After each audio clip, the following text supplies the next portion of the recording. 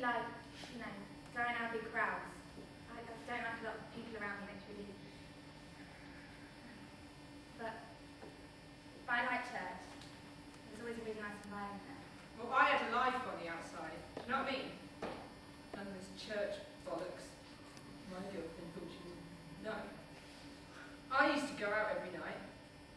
Well, not every night, obviously. Whenever I could, I'd go out, do a shitload of these, and then my dress. Oh, they were good times then. That was when I could escape him. I mean, he beat me after death the next day, but it was so worth it.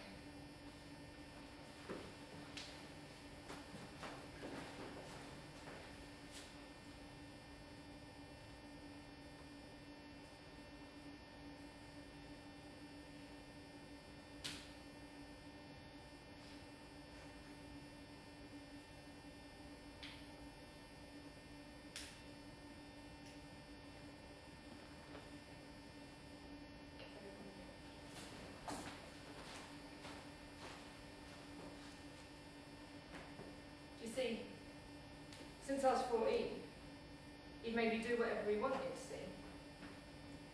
That includes sleeping with his mates for money to pay off his debts. And I couldn't do that, that's five years. Christ, really takes it out of you, do you know what I mean? Every night. And I've got chlamydia. I can't have children now. Do you know what that does to a woman?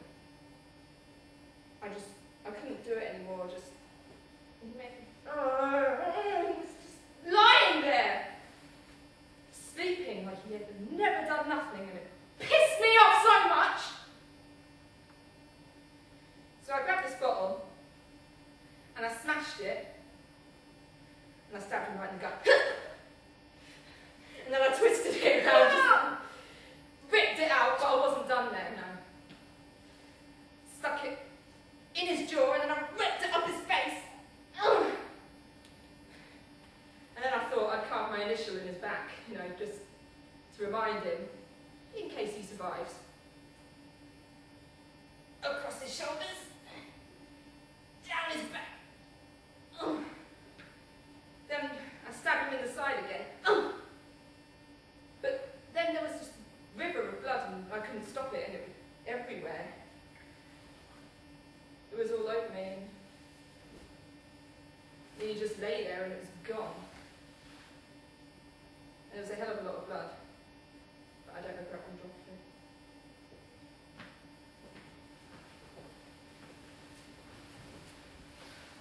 What are we waiting for? Waiting to die? We're not waiting to live. We're waiting for salvation. Salvation that will never come.